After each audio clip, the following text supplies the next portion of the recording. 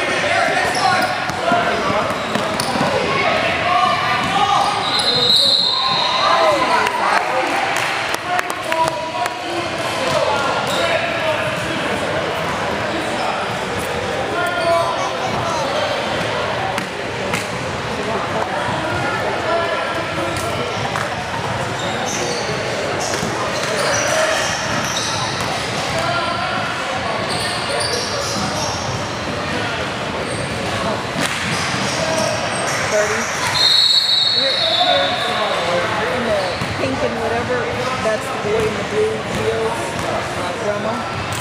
She's the one I think is related to us. Right here.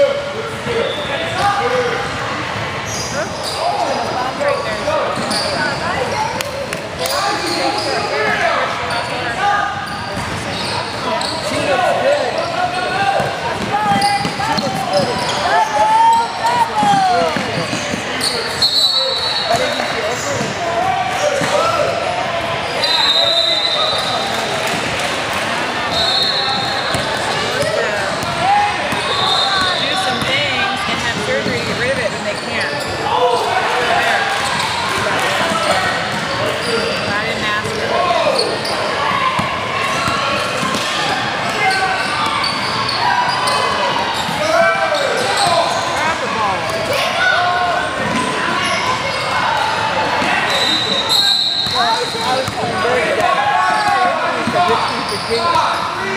And our people are from there, and her people are going whatever.